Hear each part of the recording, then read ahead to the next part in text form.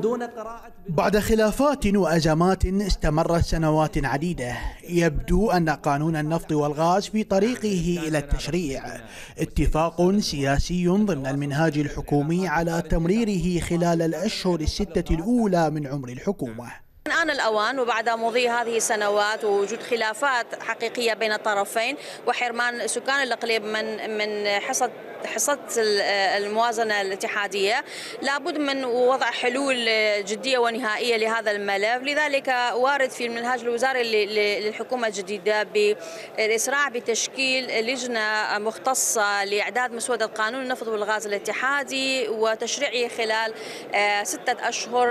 لجنة متخصصة من الحكومة تعد مسودة قانون النفط والغاز لإرساله إلى البرلمان بعد نهاية العطلة التشريعية. قانون سينهي أعقد مشكلة بين المركز والإقليم ويؤطر لعلاقة متزنة بين الطرفين.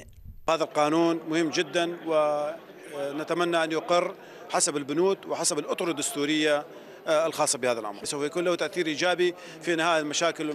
إذا أعد وتم اعتماد على الأطر الدستورية والقانونية في هذا الصدد. وتسعى حكومة السودان وتحالف إدارة الدولة إلى حل جميع الأمور الخلافية قانونيا من خلال البرلمان فضلا عن تشكيل لجان مشتركة للوصول إلى تفاهمات ترضي جميع الأطراف. من بغداد علي عبد الكريم. الفلوجة الفضائية.